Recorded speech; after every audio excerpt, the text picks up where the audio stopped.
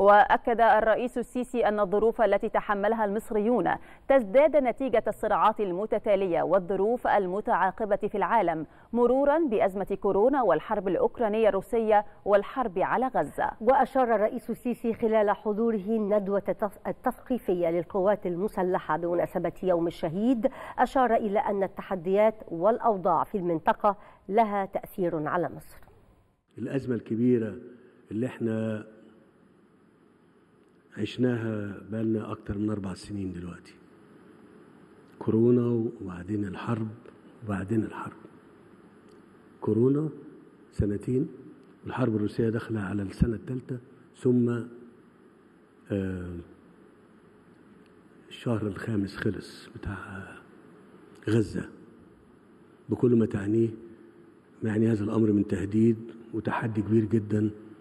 لينا كمصريين وحتى لمنطقتنا كمان.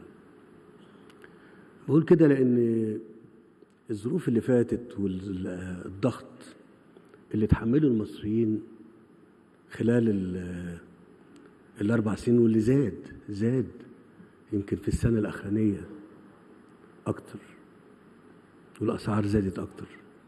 طب هل أنا بقول الكلام دوت عشان يعني أطيب الخواطر أو أو يعني كلام بقوله للناس في مصر. عشان يستحملوا أكتر؟ ولا يبذلوا جهد أكبر؟ ولا عشان يخلوا من بالهم من بلدهم أكتر؟